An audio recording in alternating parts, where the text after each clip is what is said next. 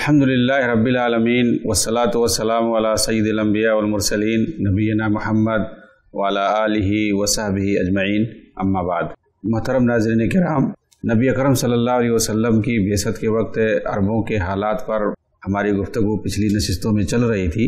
उसी सिलसिले को हम आगे बढ़ाते हैं और आखिर में हमने अरबों के यहाँ जो तोहम परस्तियाँ, अवहम और खुराफात बहुत से पाए जाते थे, उनका हम तस्करा कर रहे थे। और आप देखेंगे उन तमाम तोहम परस्तियों को, अवहम और खुराफात को कि किसी न किसी शक्ल में हमारे यहाँ भी वो चीज़ पाई जाती है। कैसे वो लोग कुएँ में जा कर के अगर कोई आदमी गुम हो जाता था तो जा कर के आवाज़ लगाते थे, समझते थे कि वो हमारी आवाज़ का अगर जवाब दे, इसका मतलब वो ज़िंदा है। और अगर नहीं जवाब देता था तो समझते थे कि वो आदमी मर चुका है। किस तरह से उनका हामा का अकीदा था कि मतलब यह है कि अगर किसी आदमी को मार दिया गया, अगर उसका बदला ना लिया जाए तो हामा माने दरअसल खोपड़ी के होता है तो कहते थे कि उससे मकतूल की खोपड़ी से एक उल्लू निकल करके आता है और जो अहले खाना हैं, उस मकतूल के जो घर वाले हैं, उसके छत पे आकर के वो उल्लू बैठता है और कहता है कि मुझे कातिल का खून पिलाओ। अब ज़ाहिर सी बात है, कातिल का खून पिलाने के लिए जब वो कह रहा है तो उसके घर वालों को ज़रूरी हो जाएगा कि वो कातिल का खून उसे पिलाएँ जा करके यानी कातिल जिसने मारा है जा करके उससे बदला लें और उसको कत्ल करें। अगर किसी के अंदर ताकत होती थी तो वो जा करके उससे बदला लेते थे, इंतकाम लेते थे और बात ख़त्म हो जाती थी। और ये अकीदा रखते थे कि अब उसके बाद उल्लू नहीं आएगा। उसके लिए वो करते क्या थे? कभी कसम खा लेते थे कि हम शराब नहीं पियेंगे जब तक कि कत्ल नहीं कर देंगे, इंतकाम नहीं ले लेंगे। उनकी औरतें नवहा नहीं करती थी, बाल मुड़ा लेती थी उसके गम में और कहती थी कि जब तक कत्ल नहीं करोगे, जब तक बदला नहीं लोगे, हम नवहा नहीं करेंगे। क्योंकि नवहा करना उनके यहाँ एक आम रस्म पाया जाता था। मतलब कोई आदमी मर जाता था तो औरतें नवहा करती थी, बैन करती थी, सीना फाड़ती थी, बाल नोचती थी, इस तरह की चीज़ें करती थी और ज़ाहिर सी बात इस्लाम के अंदर इन सारी चीज़ों को मना कर दिया गया है। तो अगर उसके अंदर ताकत होती थी तो जा करके वो बदला ले लेता था, इंतकाम ले लेता था और बात खत्म हो जाती थी। लेकिन अगर लेने की ताकत नहीं होती थी, मकतूल के घर वालों को ये ताकत नहीं होती थी कि उस कातिल से जा कर के बदला ले सकें। तो उसके लिए वो हीला करते थे, जाते थे किसी काहिन के पास और कहते थे कि भाई, हमारे साथ ऐसा मामला है। तो वो ये करता था, उसको कुछ पैसा वगैरह देते थे नजराना देते थे। कहता था कि ऊपर तीर फेंको। तीर फेंकते थे, अगर वहाँ से वापस खून में लथपथ वो तीर वापस आ जाती थी तो ये समझते थे कि जो है उसको बदला लेना पड़ेगा। लेकिन अगर नहीं वापस आती थी तो माफ़ कर देते थे। और ज़ाहिर सी बात है, तीर आसमान में फेंकेंगे तो कहाँ वापस आएगी? ज़ाहिर जो कि बहुत बड़ा एक लघुए आलिम है, उसने इस पर तंज करते हुए मज़ाक करते हुए बात कही है कि किसी ने हमें आज तक ये खबर नहीं दी है कि तीर कभी खून में लथपथ वापस आए। यानी मतलब ये एक बहाना करते थे, ताकि किसी तरह से बात को ख़त्म कर दे। और चूँकि जिनके पास ताकत नहीं होती थी, इस तरह से वो बहाना बनाते थे। किसी बुतखाने में जाते थे, किसी काहिन को कुछ पैसा दे देते थे और इस तरह से वो ढोंग करता था। उनके यहाँ ये खुराफात भी पाई जाती थी कि मैदान जंग के अंदर दो सफ़ों के बीच में औरत को ला करके पेशाब करवाते थे और ये अकीदा रखते थे कि अब जंग की आग ठंडी हो जाएगी। कहते हैं कि दरअसल जो कमज़ोर होता था, दोनों फरीक में जैसे लड़ाई हो रही है, दो फरीक के दरमियान। तो जो फरीक कमज़ोर होता था, वो इस तरह की हरकतें करता था और अरबों का चूँकि अकीदा होता था, इसलिए वो क्या करते थे? सुलह पर राज़ी हो जाते थे और इस तरह से दोनों फरीक के अंदर सुलह करवा लेते थे। हालाँकि उनका यह अकीदा होता था, ये मतलब तोहम परस्ती थी उनकी, कि इससे क्या है? जंग की आग ठंडी हो जाएगी। तो फिर उसके बाद क्या होता था? सामने वाला भी मजबूर हो करके वो सुलह कर लेता था। सहरा के अंदर अगर कोई आदमी भटक जाए, चूँकि अरबों में सहरा काफ़ी पाए जाते हैं, भटकने के चांस बहुत रहते थे, वो सहरा में सफ़र किया करते थे। तो अगर भटक जाता था कोई आदमी तो उसके लिए वो क्या करते थे? वो लोग ताली बजाते थे। उनका यह अकीदा होता था कि इस तरह का आदमी अगर भटक जाए तो वो क्या करे? वो अपना कपड़ा उलट लेता था। उठनी को रोक कर उसके कान में सरगोशी करता था। फिर उसके बाद ताली बजाता और कहता, अन्नजा अन्नजा। नजा के नजात होता है। उसके बाद वो ऊँटनी को मारता था। अब वो जिधर चलती तो ये समझा जाता कि रास्ता सही है। ये उनकी तोहम परस्ती थी। ये उनका एक अकीदा था जाहली दौर का, कि कपड़ा उलट लेने से, उठनी के कान में जाते थे, वो सरगोशी करते थे, और उसके बाद ताली बजाकर बोलते थे, अन्नजा अन्नजा। फिर उसके बाद ऊँटनी को एड़ लगाते थे, मारते थे, वो जिधर चलती, समझते कि यही सही रास्ता, इधर ही हमें जाना है। तो इस तरह से वो हरकतें करते थे और समझते थे कि हम सही रास्ते पे चल पड़े हैं। उनके यहाँ एक खुराफात ये भी पाई जाती थी, खरगोश की हड्डी को अपने बदन में लटकाते थे। ये कब होता था? जब वो किसी अजनबी जगह, किसी शहर में जाते थे तो वहाँ की वबा से और जिन के खौफ से बचने के लिए, जिन्नातों के खौफ से बचने के लिए, वो दाखिल होने से पहले खरगोश की हड्डी अपने बदन में लटका लेते थे और चीख मारते थे। गधों की तरह वो चीखते थे। फिर उसके बाद वो शहरों में दाखिल होते थे। किसी अजनबी शहर में या किसी अजनबी इलाके में। अब खरगोश की हड्डी लटकाना, गधों की तरह से चीखना ढींचों ढींचों करना, यानी शहर से बाहर, फिर उसके बाद शहर में जाना, ये अकीदा रख करके कि अब हम जिन्नात से महफूज रहेंगे। यानी इस शहर के अंदर जितने जिन्नात पाए जाते हैं, वो हमें कोई तकलीफ़ नहीं पहुंचाएँगे और इस शहर के अंदर जो बीमारियाँ और वबा पाए जाते हैं, उससे हम महफूज रहेंगे। तो इस तरह का वो अकीदा रखते थे। खरगोश की हड्डी अपने बदन पे लटका लेते थे और गधों की तरह चीख लगा देते थे। उनका अकीदा था कि गधे जब चीख लगा दो जिन्नात भाग जाते हैं, शैतान भाग जाते हैं।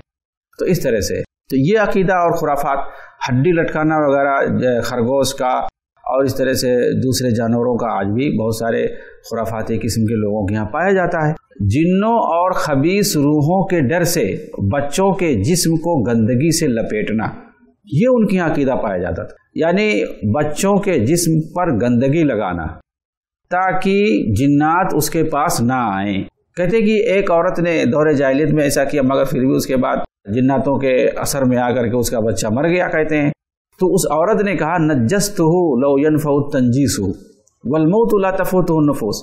हमने अपने बच्चे के बदन पर गंदगी लगा दी, लेकिन फिर भी जो है गंदगी ने कुछ फ़ायदा नहीं पहुँचाया। मौत दरअसल ऐसी चीज़ है जिससे कोई आदमी बच नहीं सकता है। वलमोत ला तफुत नफूस। मौत से कोई शख्स भाग नहीं सकता है। यानी गोया जब उसका बच्चा मर गया, तब उसको ये यकीन हुआ कि मौत से कोई शख्स भाग नहीं सकता है। हम चाहे बच्चे के बदन पे गंदगी लगाएँ, कुछ भी लगाएँ, अगर उसे मरना होगा तो वो मर जाएगा। आज भी देखें आप बदरूहों से, जिन्नातों के असर से, भूत परे से नज़र बद से बचने के लिए बहुत से लोग ऐसा करते हैं।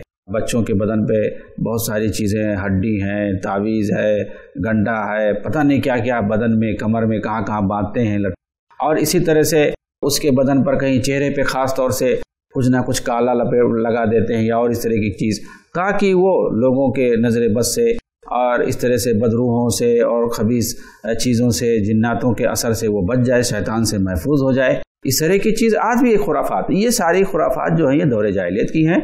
आज होना ये चाहिए एक मुसलमान होने के नाते कि जो दुआएँ हैं शैतानों के हरबों से, उनके वसवसों से और उनके चालों से बचने के लिए जो दुआएँ हमें सिखाई गई हैं इस्लाम के अंदर, उनको हमें पढ़ना चाहिए। उनको पढ़ करके बच्चों के ऊपर हमें दम करना चाहिए और जो इस्लामी सही तरीका बताया गया है कि किस तरह से बच्चों की परवरिश करनी चाहिए और ख़ुद अपनी ज़िंदगी को किस तरह से इस्लामी माहौल में ढालना चाहिए, वो सारी चीज़ें होनी चाहिए। दौरे जाहलीत के खुराफात और तवहम परस्तियाँ आज भी हमारे यहाँ बच्चों से लेकर के बूढ़ों तक सबके यहाँ ये सारी चीज़ें पाई जाती हैं, जिनसे हमें बचने की ज़रूरत है। सांप के डसे हुए, सांप के डसे हुए को, यानी जिसको सांप डस ले, घंटी और जेवर उसको पहनाते थे। भाई सांप अगर किसी को डस लिया है तो उसको वो लोग क्या करते थे? घंटी पहना देते थे। और उस आदमी को सलीम कहते थे। हालाँकि उसको लदीक कहा जाता है। उनको ये उम्मीद होती थी कि मतलब ये आदमी ताकि महफूज रहे। इसको नेक फाल कहते हैं। उनके यहाँ बदफाली भी करते थे बदशगुनी भी लेते थे, बदफाल भी लेते थे। लेकिन साथ में वो नेक शगुन भी लेते थे, नेक फाल भी लेते थे। यानी जैसे कि किसी आदमी को सांप ने डस लिया है तो हालाँकि उसको लदीक कहेंगे, सांप के डसे हुए को, लेकिन वो सलीम कहते थे ताकि वो उसके जहर से शिफायाब हो जाए, बच जाए, महफूज हो जाए। ऐसी आप देखें, सहरा जो है, उसको महलका होना चाहिए कहना चाहिए, इसलिए कि वो हलाकत खेज होती है वो जगह। हलाकत खेज होती है, वहाँ पर आदमी जाता है तो हिलाकत का खतरा रहता है। वो गोया अपने आप को हिलाकत में डालता है तो उसको महलका कहना चाहिए। लेकिन वो लोग क्या कहते हैं? मफाजा कहते हैं, यानी कामयाबी की जगह कहते हैं। तो इस उम्मीद में कहते हैं, नेक फाल लेते हुए वो ये बात कहते हैं, ताकि अगर आदमी सहरा में जाए तो उससे वो बच के महफूज निकल जाए।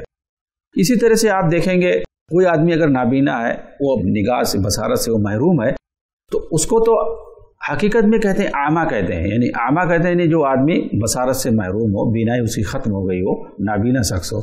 लेकिन उसको क्या कहते हैं, वो लोग बसीर कहते हैं। बसीर माने हालाँकि होता बीना शख्स देखने वाला, जिसकी दोनों आँखें सही हो, उसको बसीर कहते हैं। लेकिन अरब वाले उसको नेक फाल के तौर पर बसीर बोलते हैं। हालाँकि वो आमा है तो उनके यहाँ नेक फाल भी पाया जाता था, नेक सुगुन भी पाया जाता था, जिस तरह से उनके यहाँ बसगुनी भी पाई जाती थी। तो वो इसी अकीदे से, यही वो नेक फाल के तौर पर और इसी अकीदे की बुनियाद पर वो क्या करते थे, जो लदीक होता था, यानी सांप का डसा जिसको सांप डस ले तो उसको लदीक कहते हैं, लेकिन लदीक नहीं कहते थे। वो क्या कहते थे? सलीम कहते थे, ताकि वो बच जाए, महफूज हो जाए, उसके जहर से, सांप के जहर से वो बंदा महफूज हो जाए। उसके लिए कुछ वो हरकतें करते थे उसके बदन में घंटी बाँध देते जो जानवरों के गले में जो घंटियाँ लगाई जाती थी, उसके बदन में उसके गले के अंदर बाँध देते थे। ताकि थोड़ा भी अगर हरकत करे तो वो घंटी बजती रहे या कुछ ऐसे जेवरात उसके बदन पर लटका देते थे जिसके अंदर घुघरू घंटियाँ हुआ करती थी, ताकि उसकी वजह से वो जेवरात और वो घंटियाँ बजें उनके अंदर से आवाज़ निकलती रहे और वो आदमी ना सो सके। अकीदा ये होता था कि आदमी अगर सो जाए, जिसको सांप डसा है कहते थे कि उसको नींद बहुत आती है। अगर उसको नींद आ गई और वो सो गया तो ये कहते थे कि जहर जो है पूरे जिस्म के अंदर सरायत कर जाएगा। लेकिन अगर वो सोता नहीं है, वो जाग रहा होता है, किसी तरह से हम उसको जगा के रखेंगे तो फिर जहर जिसम के अंदर शरायत नहीं करेगा। हालाँकि ऐसी कोई बात नहीं है, जहर को अगर सरायत करना है पूरे जिस्म के अंदर, अगर उस जहर के असर से उसको मरना है तो शरायत करेगा और वो आदमी मरेगा, चाहे वो जागे या सोए। लेकिन वो इस तरह से अकीदा रखते थे कि उसको सलीम कहते थे, हालाँकि लदीक कहना चाहिए। और इसी तरह से वो अकीदा रखते थे कि जेवर अगर पहना दिया जाए, घुघरू और घंटी वाला जेवर पहना दिया जाए, या जानवरों के बदन में, जानवरों के गले में जो घंटी लगाई जाती, वो उस मरीज़ के, यानी मतलब जिसको सांप ने डस लिया हो, उसके गले में वो घंटी लटका दी जाए तो उससे आवाज़ निकलेगी और वो आदमी सो नहीं पाएगा। और जब सो नहीं पाएगा तो जहर असर नहीं करेगा उसके बदन में। इस तरह का वो अकीदा रखते थे। यानी कोई इलाज करने के बजाय घंटी उसके बदन में लटकाते थे, खुलासे कलाम यही है। बीमार को चारपाई पर रख कर वो लोग घुमाते थे। कोई आदमी बीमार हो गया, जल्दी अच्छा नहीं हो रहा है। तो लोग क्या करते थे? उसको चारपाई पर सुला देते थे और उसके बाद बाहर ले करके घुमाते थे। वो कहते थे, इससे जो है मरीज़ को राहत मिलती है और धीरे धीरे वो शिफायाब हो जाता है। नाबिगा जुबियानी के बारे में आता है कि गस्सानी बादशाह जब उससे नाराज़ हो गया तो वो जो है वहाँ से भाग के चला आया छुप करके। बाद में गया, देखा तो उसको लोग चारपाई पर लेकर के घुमा रहे हैं। तो उसको समझ में आया कि ये बादशाह बीमार चल रहा है। मतलब ये है कि उनके यहाँ बादशाहों से लेकर के रियाया तक सबके यहाँ ये अकीदा पाया जाता था कि अगर कोई बीमार हो जाता था तो और उसकी बीमारी जल्दी ठीक नहीं होती थी तो उसको क्या करते थे? वो लोग चारपाही पे लेटा करके इधर उधर घुमाते थे।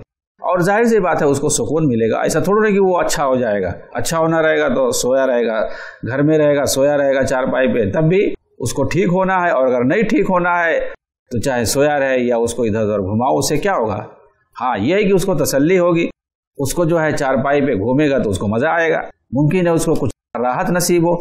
लेकिन यह अकीदा रखना कि चारपाई पर बिठा कर, सुला करके उसको इधर उधर घुमाया जाए।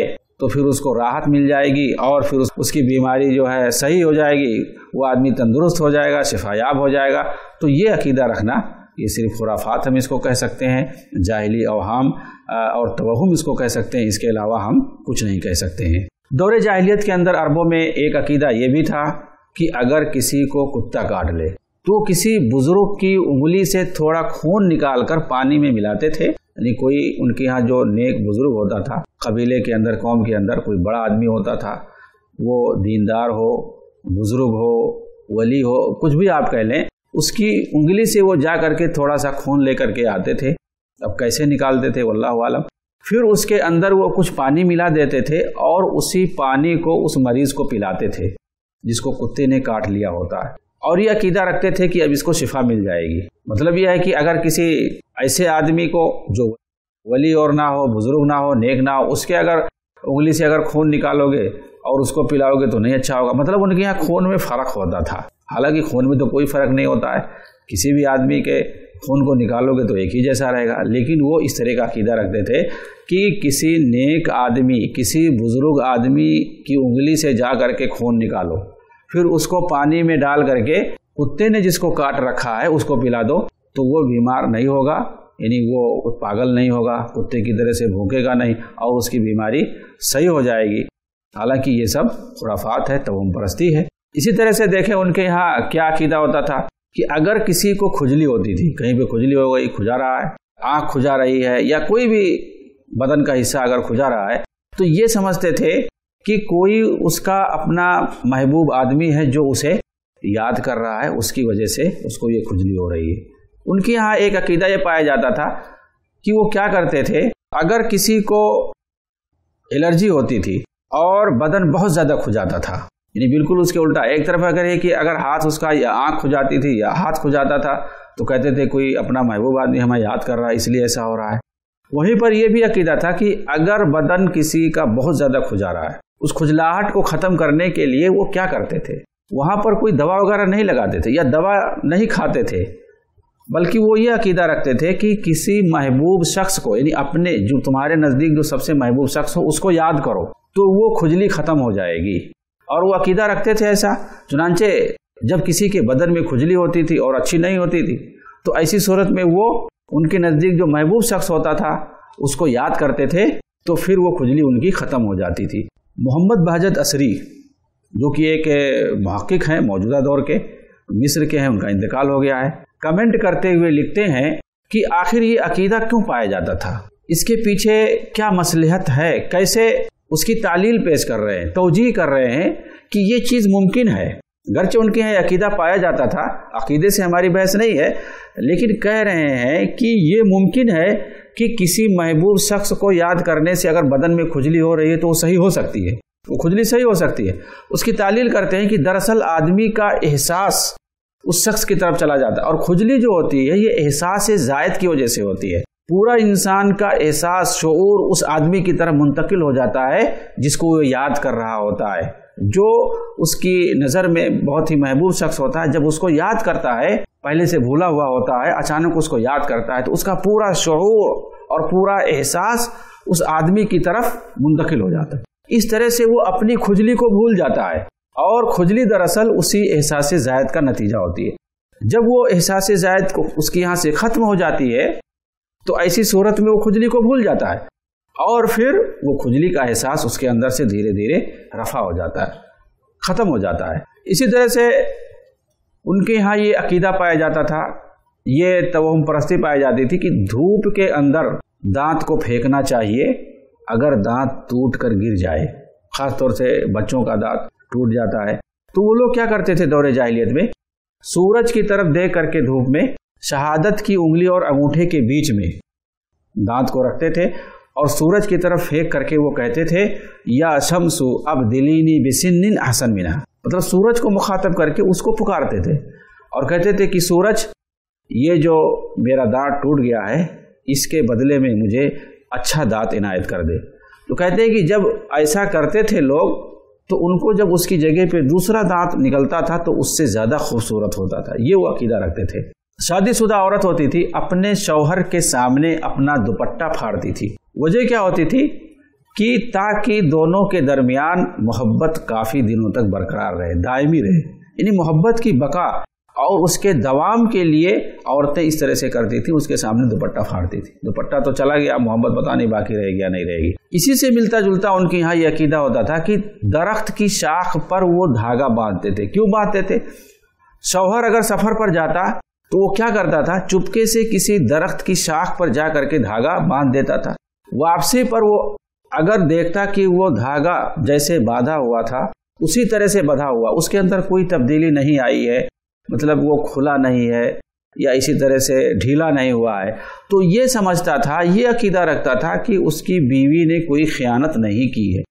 लेकिन अगर खुला होता था तो ये समझता था कि उसने खयानत की है। साथ में ये अकीदा भी होता था कि जो इस धागे को खोलेगा, उसे दायमी बुखार हो जाएगा।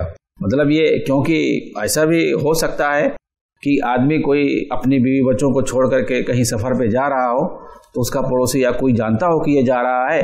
ज़ाहिर सी बात है, जा रहा है, बाहर सफ़र पे कहीं धागा बांधेगा तो उसका पीछा कर ले जा करके देखे कहाँ ये धागा बांधता है। तो उसको शरारत सोचे हो जा करके वो धागा खोल दे वहाँ से। तो ये गोया वईद भी है साथ में उन लोगों को कि जो जा करके अगर कोई धागा खोल देगा, यानी अगर किसी को पता चल जाए कि आदमी धागा बाँध करके कहीं सफ़र पे गया है तो धागे को खोलना नहीं चाहिए। यानी ये गलत बात है। अगर ऐसा कोई करेगा तो उसको हमेशा के लिए बुखार हो जाएगा कभी छोड़ेगा ही नहीं। तो इस डर से कोई धागा खोलता भी नहीं था। तो ये अकीदा उनके यहाँ होता था। सांड की आँख वो फोड़ देते थे। हालाँकि जो है, गलती कोई करता था। वजह क्या होती थी? जिन्नातों के ज़रिए से उनके ऊँट को कोई नुकसान नहीं होता तो उनमें जो सांड होता था, उसकी आँख को फोड़ देते थे। बैल को वो मारते थे। गाय जब घाट पर पानी पीने के लिए नहीं जाती थी तो वो लोग बैल को मारते थे। भाई, बैल को क्यों मारते हो? पानी गाय नहीं पी रही है। तो बैल को क्यों मारते हो? अकीदा ये होता था कि जिन्नात इन्हें रोकता है और जिन्नात ये गाय पे ऊपर नहीं बैठता, बल्कि बैल के ऊपर बैठता और बैल ये आगे होते हैं। तो बैल को ये लोग मारते थे। तो ऐसी सूरत में बैल को जब मारते थे तो गाय भी पानी पीने के लिए जाती थी। खारिश जदा ऊँट की शिफायाबी के लिए क्या करते थे? सेहतमंद ऊँट को दागते थे। भाई, जिस ऊँट को खारिश हो गई है, बीमारी हो गई है, उसको दागोगे सही होगा।